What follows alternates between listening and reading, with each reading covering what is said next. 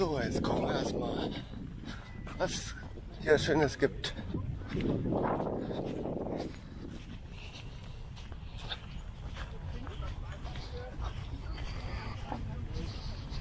Oldtimer-Treff ist hier. Ja, hier gibt es schöne, interessante Sachen.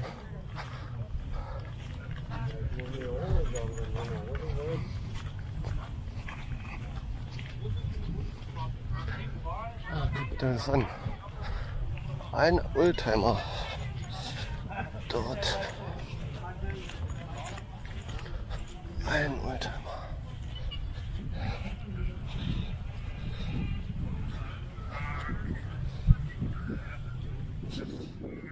Der sieht ja nicht schlecht aus. Wirklich schön.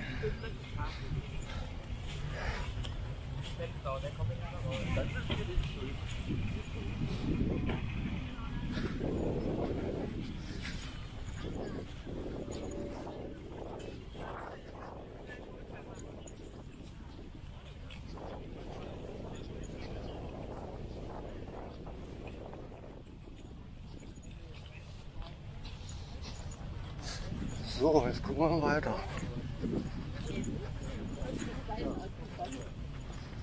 Was hast du denn noch mal? Der ADAC.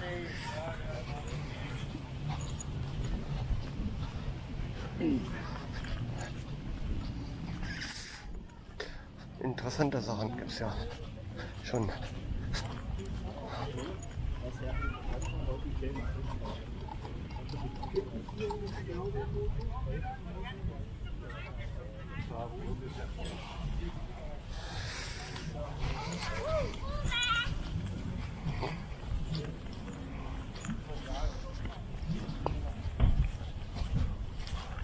So krasse Sachen.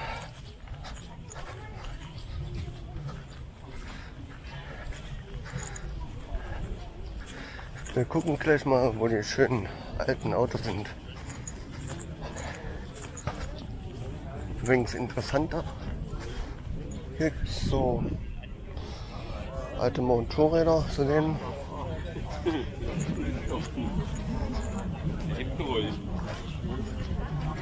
Gucken wir mal, was wir hier so Schönes sehen. Auf jeden Fall. Ah. Viel wird auch nicht sein. Doch, da hinten. Ah, die sind da hinten. Muss man aber weit laufen heute. Heute ist weitläufig angesagt.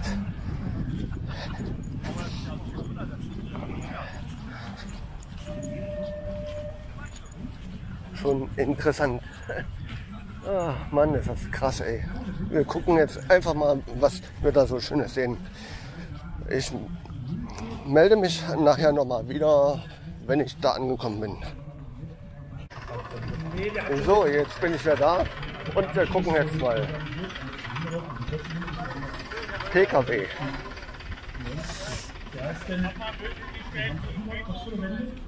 Der ist ja zwei Jahre, vier Jahre gefahren. 1994 haben sie den gemeldet. Und seitdem stand er da in der Tiefgarage. Er hat ein riesengroßes Glück gehabt, weil stand da draußen, sieht er jetzt nicht mehr so aus. Naja gut, aber du, äh, die Leute sagen ja immer, was soll da rosten? Der ist ja aus, äh, ist ja Pappe, ne? Also Jetzt kommt's. Phenolplast. Und fühlen wir den mal auf den Zahn. Genau, und jetzt sind wir genau da, nämlich bei den, bei den äh, Plasten. E-Lasten glaube ich in dem Fall eher nicht, das ist ja was Duroplast. Duroplast würde man sagen, als Werkstofftechniker, genau. Ähm, du hast ja an dem Auto nichts gemacht, oder? Der ist, der war, wie du sagst, so war er, musste also auch nicht irgendwie Karosserieperle ersetzt bekommen. So original. Ja. Also Traumzustand, so wie er in Sachsenring, äh, bei Sachsenring damals in Zwickau vom, vom Band lief. Ich habe äh, ein paar alte Filme mir angeguckt, da wurden ja dann immer die Kotflügel und die Türen, die wurden dann eben aus dem Regal genommen, angeschraubt und um die Spaltenmasse hinzukriegen, kamen sie mit der Fräse, haben ja einmal durchgefräst, flog der Staub. Ne? Ähm, Phenolplast und Baumwollfasern. Das war ein, naja, sagen wir mal, ein Ersatzstoff, weil zu Beginn der Trabantfertigung eben Alu- und Stahlblech Mangelware war, wie so manches in der damaligen DDR. Ja, nicht nur DDR, wir fangen mal an, das ist genau das Problem. Nachkriegszeit, was gab es nicht? Material. So, Erster Weltkrieg Nicht ist zu überall, Ende. Genau. nicht überall. Naja, aber Erster Weltkrieg ist zu Ende. Der Witz ist ja in Wirklichkeit, dass ja die ersten Autos liefen auch so und hatten solche Karossen. Genau, das war, war dann der, der sogenannte Leukoplastbomber. Ne? Ja, also so despektierlich hat man den Trabi, glaube ich, niemals bezeichnet, weil der hat sich ja seine Meriten wirklich erworben. Nicht? Also man kann, glaube ich, sagen, gerade so die letzten Trabanten, die noch in der alten Form auf den Markt kamen, waren wirklich sehr solide und auch dauerhafte Fahrzeuge. Vielleicht nicht ganz, mehr, ganz auf der Höhe der Zeit, aber eben echte Langzeitautos. Ja, man sieht es ja. Vor allen Dingen, weil sie jeder reparieren konnte. Ich glaube, das Geheimnis war darin, dass du halt wirklich jeder in der DDR, der so ein Ding gefahren ist, schrauben konnte. Es war nicht so, dass du in die Werkstatt gefahren bist und hast gesagt, mach mal, sondern du hast im Großen und Ganzen deine Reparaturen selber gemacht. Interessant ist, wir fangen ja mit dem P70 an. Das ist Genau, das war der erste. Hatten wir heute hier, haben wir versucht, hierher zu bekommen, aber der Herr ist leider schon abgefahren. Wir haben zwei wunderschöne P70 Coupé da, was wirklich eine super Seltenheit ist. Bin ich vorhin fast umgefallen. Wunderschönes Auto, aber dann haben wir eine ganz starke Karosse. Da müssen wir aufpassen, der hat keinen Hochlast draußen. So, dann kam der P50, also P70, weil er 700 Kubik hatte. Dann kommt der P50, dann kommt der Trabant 600 und dann kommt der Trabant 601. Und ihr merkt schon, der Zahl orientiert sich immer nach dem Hubraum. Also 700 Er hat die Kubik. Tür und hier sein Auto drin. P50, 500 Kubik und hier haben wir wieder 600 Kubik. Genau, und so blieb es dann bis zum fast bis zum Schluss, bis dann der, der 1100er Polomotor einzog in die Karosserie des äh, 601. Allerdings war das irgendwie so eine, wie soll man es nennen, so, naja, eine Art, äh, eine Leichenaufschminkung. Also es war einfach kein Markt mehr dafür da. Obwohl wir haben hier auch, glaube ich, ein paar 1100er Trabanten, auch hervorragend fahrende Autos. Also man kann eigentlich nichts dagegen sagen. Und ich habe es ja vorhin gesagt, wenn man einen hat, der noch fährt, behalt bloß nichts dran ändern, denn man weiß ja nie, wann der Nachschub kommt. So, na ja, gut. Dann herzlichen Dank, dass du äh, dir die Mühe gemacht hast, uns hier mal kurz das Auto vorzuführen und Jahrzehnte überdauert haben.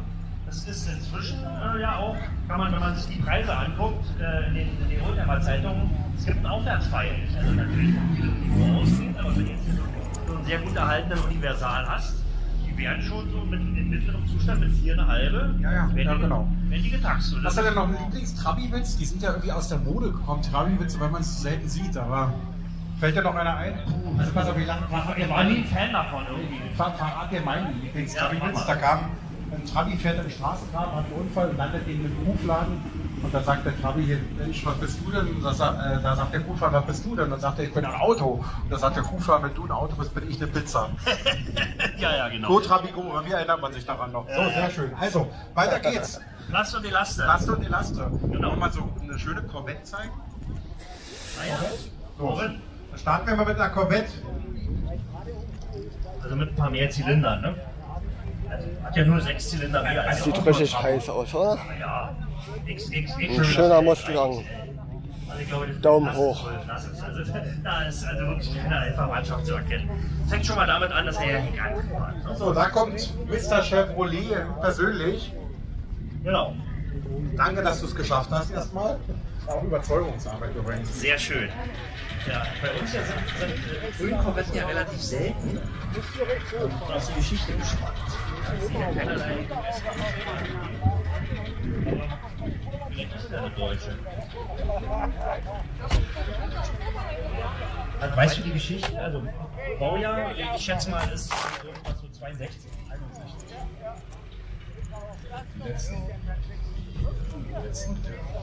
Alte Taxi. Und die äh, Corvette, also die erste, als sie kam, äh, da hat äh, General Motors ja gesagt, wir brauchen einen Sportwagen, weil die aus dem aus Europa zurückkehrenden GIs sich englische und deutsche Sportwagen gekauft haben und da äh, also nennenswert Umsätze generierten. Und da wollte natürlich General Motors nicht nachstehen und baute eben einen kleinen, ein leichten Sportswagen. Und das war damals die erste Corvette, die hieß doch C1. Da sah die Front ein bisschen anders aus, hatte aber auch diese, sehr schöne Form und Zweifarblackierung. Ähm, gibt es einen kurzen Steckbrief zu dem Auto? Ich habe glaube ich schon gesagt, aber das ist ja keine Kunst, kann ja jeder sagen. Sehr schönes Auto.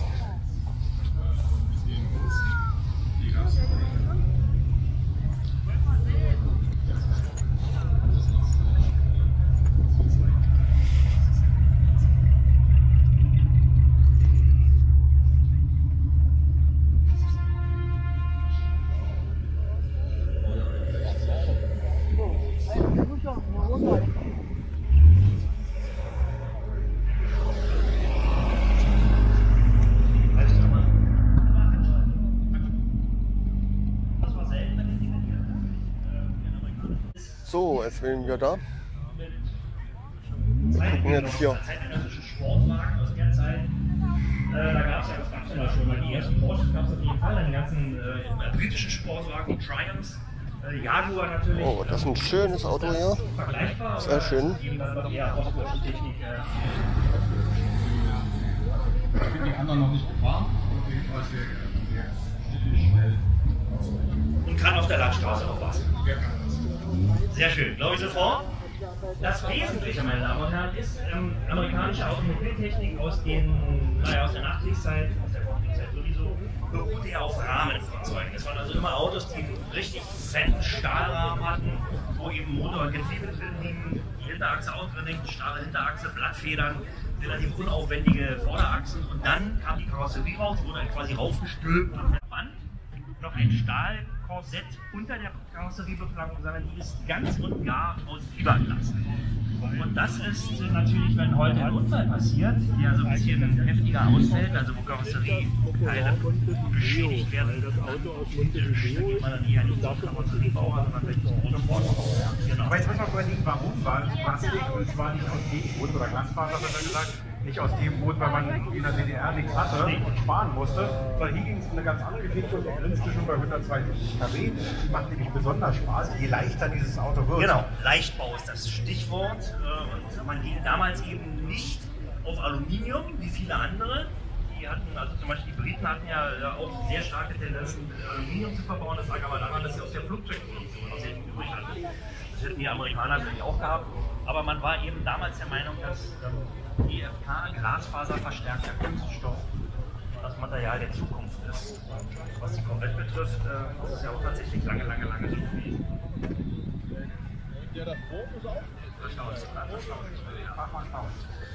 Genau. Und ähm, Also nicht zuletzt ein wunderschönes Auto. Du kannst natürlich tolle Formen machen. Du hast diese Form, das wird dann so einlaminiert. Das kennt man eben, wie gesagt, aus dem Bootsbau. Tatsächlich, wenn man einen Unfall hat, kann man das hier relativ gut im Bootsbau äh, wieder, wieder herstellen. Das heißt, die Formen werden dann laminiert, wenn da ein Kopf oder wie auch immer drin ist, mit Glasfaser gearbeitet.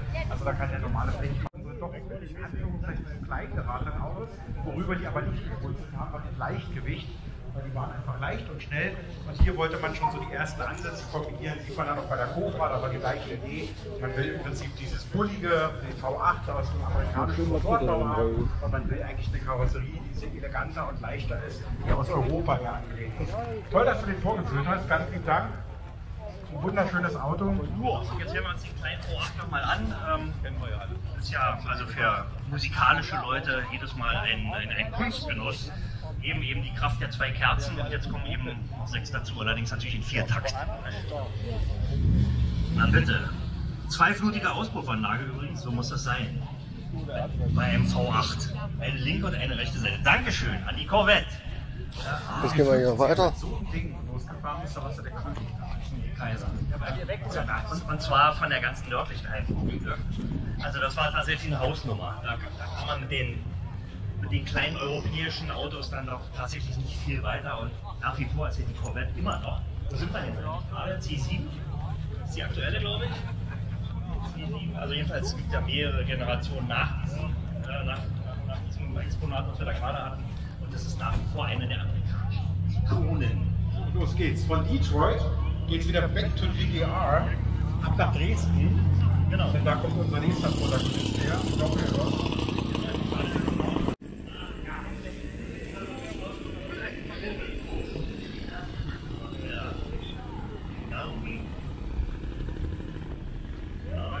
Ja, ja, ja, ja, ja. Ja, der Früher enge Verteilung, alles hinten drauf und oben dran und so. Das ist schön. Aber ich bin Miri.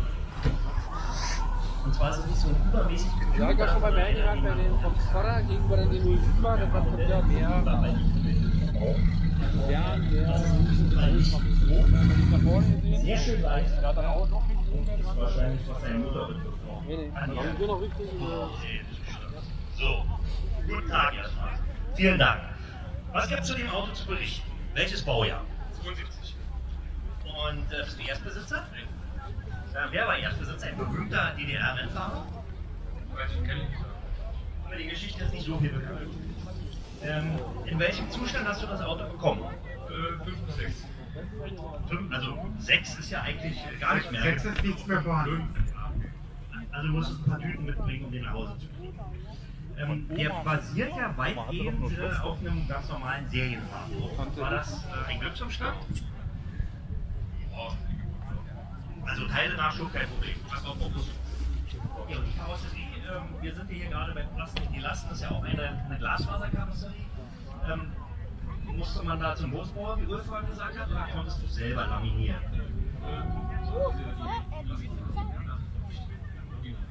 Die, also auch von Legos? Also es gibt eine Werksunterstützung, wenn man so will. Wie unterscheidet sich der Motor von einem Serienwagen? Sondern? Aha. So, Das wird irgendwann. Äh,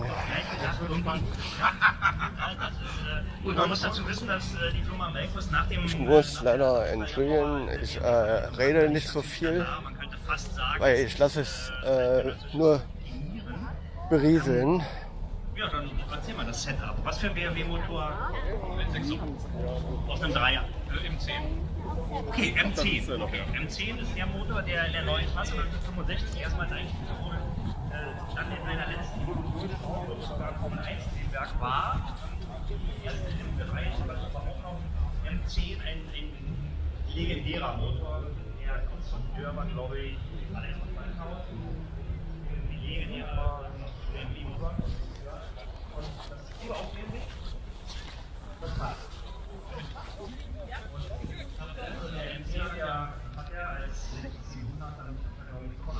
Das ist auch ein schönes Auto. Schöner Schlitten.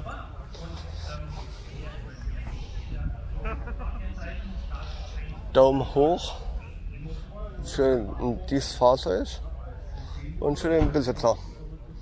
Wenn du den Umbau noch länger hast, Genau, der ist, der ist Weihnachten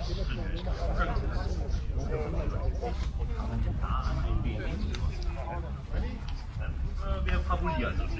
Okay. Vielmehr die Geschichte in der DDR. So, jetzt sind wir in einer Zeit, wo wir halt äh, Trabant fahren. Es kommt noch so viel, noch so viel mehr. Sportwagen der. Also, ihr könnt darauf erfreut sein. Plan. Das war auch, wie gesagt, keine, ja, keine Wichtigkeit. Und dann baute man bei Melkus einfach, kam man auf die Idee, selber ein Auto zu bauen, aus diesem Wagen.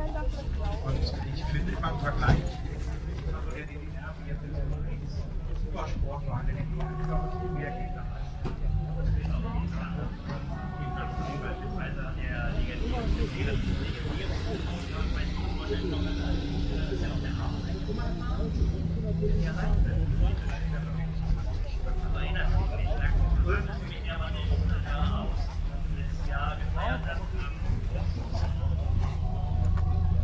Sehr schöner Porsche.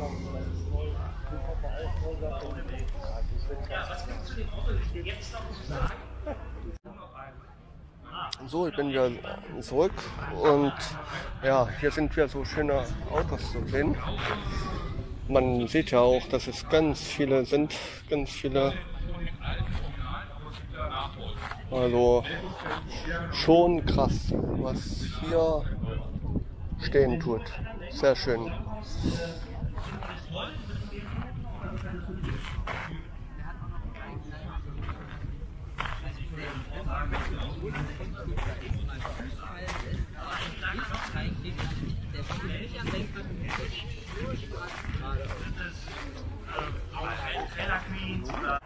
Oh, ich habe was ganz Tolles entdeckt. Ein Auto mit Schlafaugen. Ein Auto mit Schlafaugen. Das ist ja krass. Das sieht schön aus.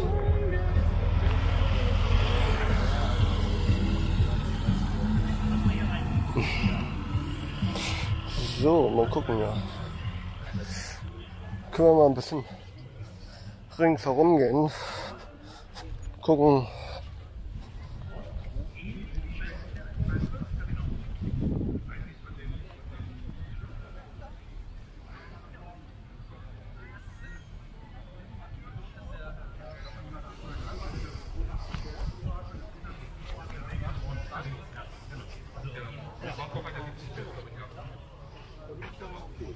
Sehr schön. Unser drittes Kunststoffauto sozusagen im Bunde.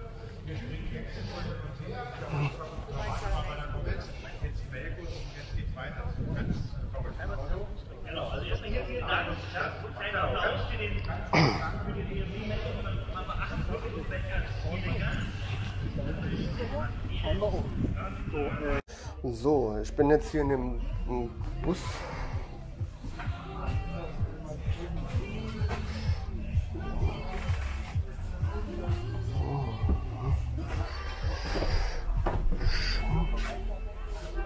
Sieht sehr, sehr schön aus.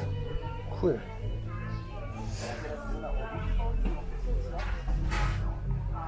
Sieht sehr schön aus.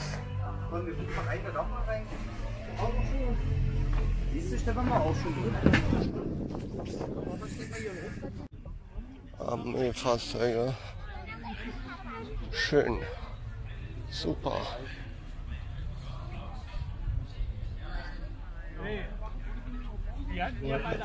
Das sieht ganze Altwohnmobil, das hat nur 7 Millionen gekostet. Bestand aus zwei großen Mercedes-LKWs. In dem ersten Mercedes war das Wohnzimmer und Schlafzimmer für den Schein. Und im Kofferraum und das Schlafzimmer bitte stand noch Ferrari. Und der zweite, Das ist ein schön. da hat der Stallmeister geschlafen und es war die Buchse für die Pferde drin. Das war eine Kombination nach Arabien irgendwo im Verkauf. Kannst du mal bei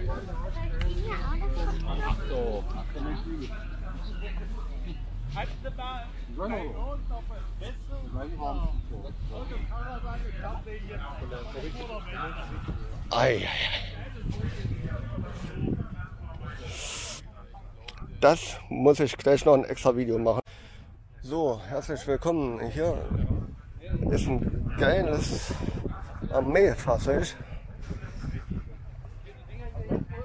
Genannt Hummer. Ah, schon interessant. Krass. Und schön, schön breit. Schon krass.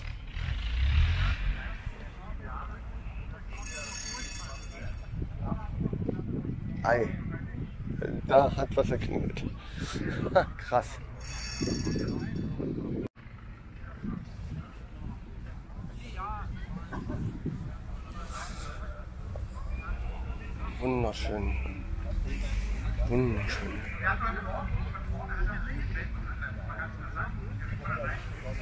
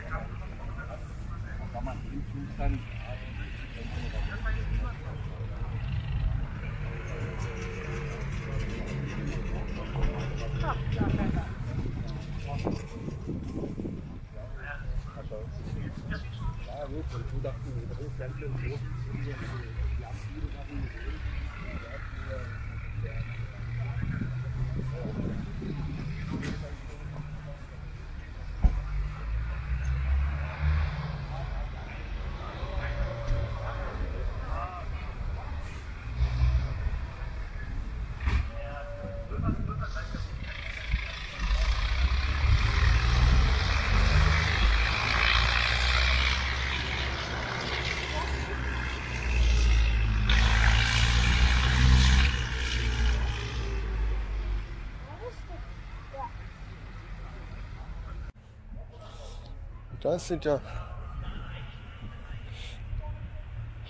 auch schön aus. Sieht schön aus.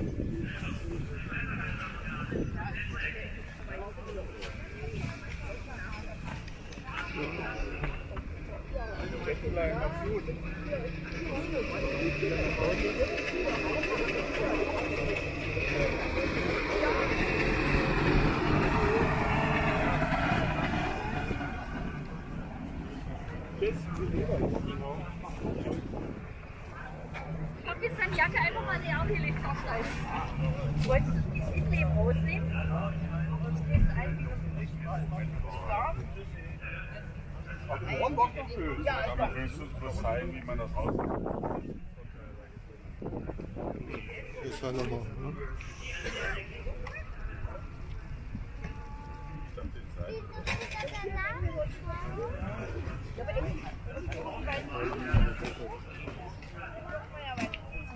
ja, genau.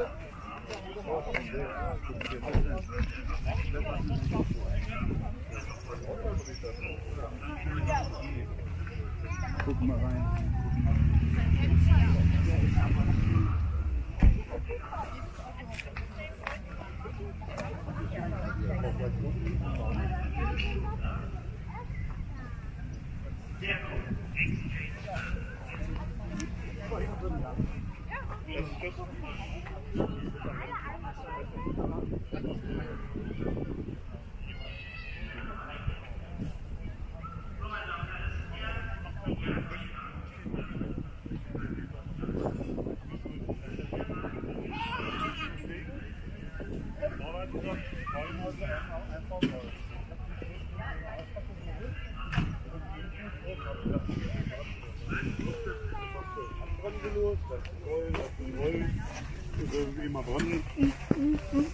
Und den kannst du so.